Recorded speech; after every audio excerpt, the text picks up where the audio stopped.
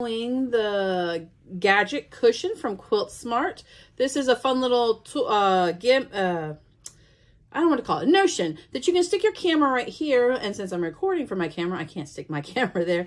Um, but anyway, you stick your camera right there and it does have places for you to hold your wires for charging as well. These make great holiday gifts because they only take about 10 inches of fabric, a fusible, and some, um, in this one I have uh, walnut, crushed walnut shells in this. So let's get started. So the first thing you're gonna do is get a panel of the with the gadget cushion. We do sell these. The link is below in the video. And you get enough in a panel to make two of these little gadgets cushions. And again, you only need a 10 inch square to make both of them. Perfect for leftovers of your um, layer cakes you might have, or if you have lots of scraps you want to work through, it's perfect. So let's talk about the pattern a little bit. You can um, download uh, the PDF of this as well, because sometimes it gets printed and the, the writing is a little harder to read. I'll put a link in the um, description below for that as well. Um, and what's uh, a couple things about this pattern is you're going to see dashed lines that have little scissors it is your cutting spot. And where you see the solid line, that is your sewing spot. And on this particular pattern, we have A, we have B, there we go, B, and then we also have C. So we have three different stitch lines that we're going to focus on to create the body. Now, it also has in here, these, these strips right here are tab strips. Um, I don't make mine for uh, because I just think they're more cumbersome. But if you are a person that likes to have a, a stand that holds your wires as you're charging, you can put tabs around the, the piece as well. You need to finish up the tabs first, and then you're going to place them. So like there's some placement lines on here as well. Um, there's three of them. There's one here, and there's two over here. Actually, there's an, uh, another one here. So there's four. And you can get four out of these two little long strips here. So the first thing you're going to do is we're going to press it on the back of a 10 inch square. This is the, on the wrong side of the fabric.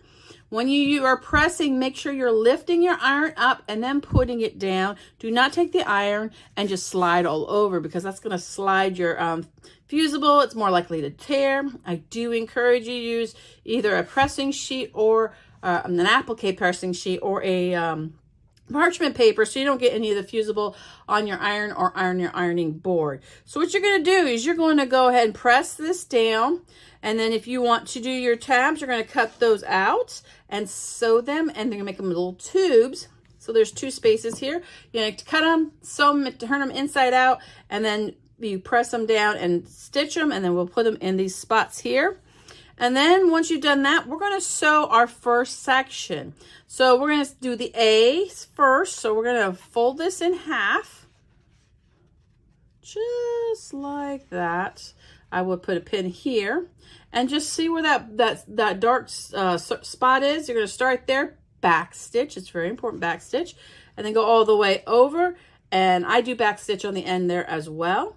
And then I'm going to go do that really quick under the needle and I'll come right back and show you what that looks like because I'm going to go step by step as we do this. I shall be right back.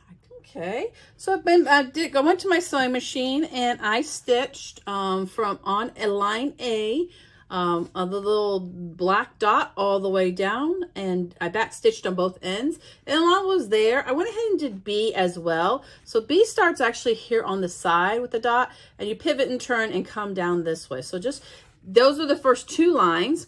Now you see here, these lines are more uh, lines for we're going to stitch on the outside of this to hold the, our um, our uh, stuffing or walnut shells or whatever you want to put in that. Um, so we need those lines to kind of show for the front. What I, I tend to do is just snip a little bit into the selvage just so I have a reference point. And you're supposed to mark them on the other side, but well, you know, it's a it's two inch, it's an inch and I think it's two inches actually. It's two inches from this point to this point, so that might help you as well when we turn it inside out. So now we've got those two stitch lines down. We got to do this last one over here. That's number C. Now, again, there are placement um, um, places for the straps. If you want to put them on you, or on your gadget cushion, you can. Um, I, again, I don't do it. I don't, I just don't feel a need, but you're totally welcome to do that. And that's where these are here.